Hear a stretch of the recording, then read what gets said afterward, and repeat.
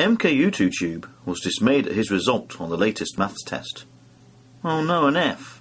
I revised so hard. mkyou2tube was confused. I'm confused.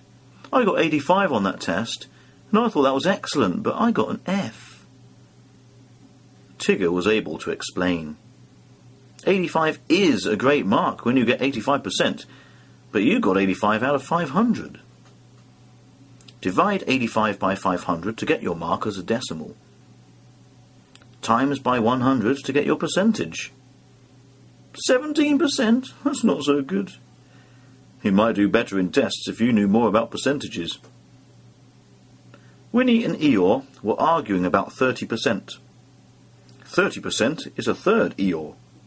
No, Winnie, 33% is a third. Actually, you're both wrong. 100 divided by 3 is 33 and a third percent. Let me explain some rules of percentages to my percentage ignorant friends. To find x percent of y, divide x by 100 and times by y. To find x as a percentage of y, divide x by y and times by 100. And to convert a percentage to a fraction, divide it by 100. With his newfound knowledge of percentages, soon all the animals from the Hundred Acre Wood were asking mkyou2tube for advice. Ask Tigger. I'm the last person to ask.